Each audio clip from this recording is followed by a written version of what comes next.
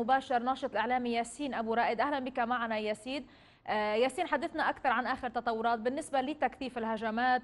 كيف سيكون وكيف سيتم تصعيد العمليات؟ على أي استراتيجية سيتم العمل؟ هل من تفاصيل عرفتموها؟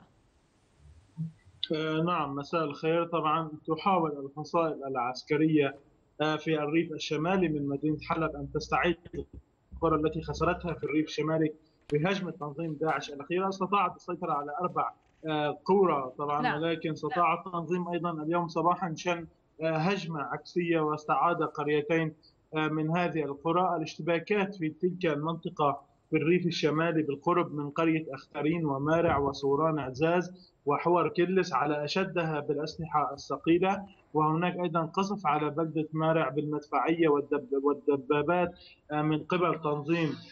داعش قتل في هذه الاشتباكات أكثر من 43 عنصرا من تنظيم داعش أثناء الاشتباكات في الامس وأثناء تحرير القرى التي ذكرناها.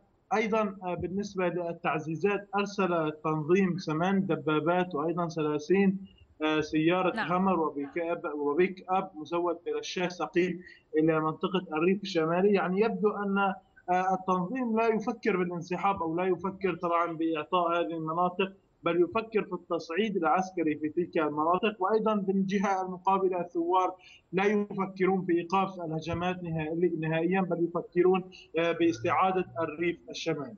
طبعا أنا أشكرك جزيلا ياسين ابو ياسين أبو رائد مراسل شبكة سوريا مباشر كنت معي من حلب.